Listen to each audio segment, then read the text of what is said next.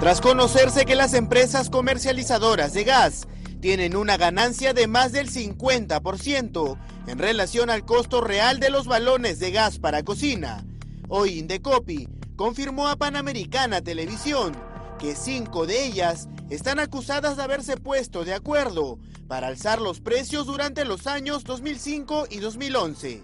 Las empresas con las, las cuales se abrió un proceso son Repsol, Zetagas, eh, Lima Gas, Llama Gas y Forza Gas. La acusación que nosotros hemos formulado contra las empresas está basada principalmente en correos electrónicos que hemos obtenido de las empresas y que dan cuenta de un supuesto arreglo, coordinación entre ellas, justamente para fijar en varios episodios el precio del balón de gas durante, durante varios años. De acuerdo a Indecopi, la investigación data del año 2015. Frente a los cuestionamientos por la demora del proceso, aseguraron que el tema ya está judicializado y se debe tener en cuenta los tiempos establecidos por la ley. El proceso está en marcha. Es importante mencionar que los tiempos del proceso obedecen a varios factores. Primero, la ley nos pone determinados plazos. ¿ya? Por ejemplo, la ley prevé un plazo de 30 días hábiles para que las empresas presenten sus descargos, prevé un, 7 meses para actuación de pruebas, y son tiempos que están establecidos en la ley. Un recorte de los tiempos nos podría dar lugar a que las empresas aleguen una afectación a su derecho a defensa. Entonces esperaríamos que el caso pueda ser resuelto este año. ¿no? De confirmarse que Repsol, Gas, Lima Gas, Llama Gas y Forza Gas acordaron elevar el precio de este producto, Indecopin pondrá sanciones administrativas como cobrarles un porcentaje del total de dinero ganado durante el periodo de concertación, además de otras medidas.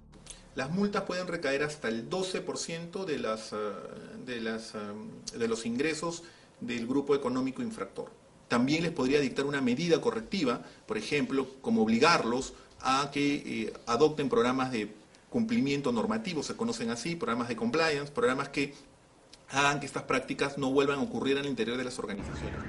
Indecopi aseguró que no tiene facultad para plantear una denuncia penal contra estas empresas, debido a que la concertación de precios no es un delito penal en el Perú.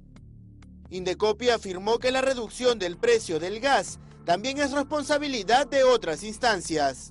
Primero, masificar el gas natural, masificar el gas natural. Pero van a dar cuenta que el gas natural implica una reducción sustancial versus el balón de gas. Pues hay que seguir masificando el gas natural. Y eso es un tema que corresponde, entiendo, al Ministerio de Energía y Minas. Tal como revelara 24 horas, en algunos centros de envasado de gas, venden el balón de 10 kilos a 27 soles. Sin embargo, las empresas más grandes han fijado precios elevados al público, que oscilan entre los 36 y 38 soles en promedio.